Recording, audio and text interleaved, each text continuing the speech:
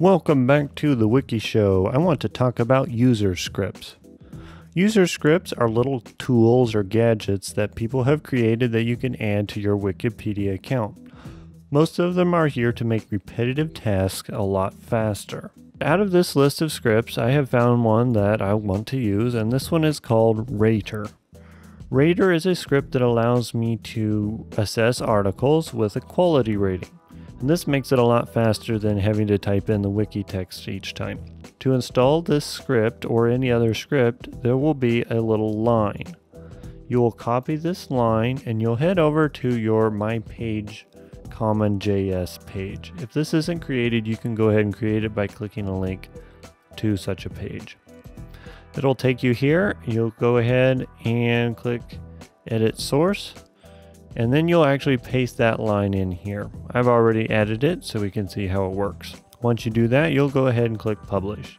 But once you've added that script called Rater, you can head to an article and up here where it says more, an additional option will have appeared in the more menu and it's called Rater. And if you click on Rater, it will open up an extra tool. And the nice thing about this tool is if I want to rate this as a start class article, which it is, it actually uses machine learning to guess what the quality rating of the article is to make the task a little easier. And all I have to do, if I don't want to do anything else, I just click save and then we reload the page. There it is. The article has been rated as start class. This makes it a lot faster to add quality assessments to articles. With the Rater script installed, you can actually go to this unassessed biography articles and there are 70,000 articles in this page right now. And these are all articles that actually need a quality assessment. A quality assessment is a whole nother topic, and it is a good idea to be familiar with it before you start rating things. So we're on the unassessed backlog. We'll go ahead and just pick the next one. It'll take me to the talk page. I want to look at the article page first, see what kind of content it has. This is a stub class article, so I'll go to the talk page, I'll click Rater. It'll load up the different sections, and it's already guessed with 93% certainty that this is a stub class article. So I'll go ahead and click Save, and then I can reload the page to see the changes, and there it is. So the cool thing is you can actually see your edits making a difference. Now this doesn't actually change any content, it just helps catalog things. I will go ahead and rate this one stub, save. We'll do another one.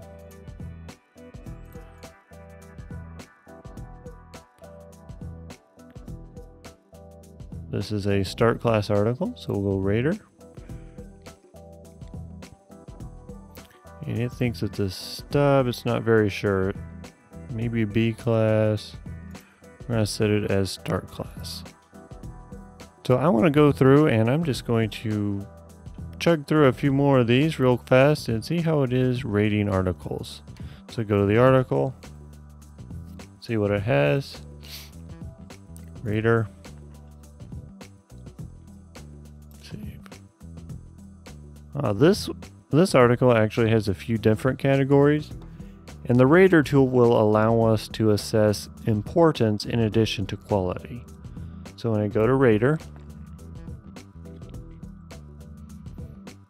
Wiki Project biography, this is a stub class article, allows us also to assess importance, and this one is also low importance. So I'll click Save. Reload. It fills in those little boxes right there with their importance ratings. And that's pretty cool. Let's go ahead and do another one.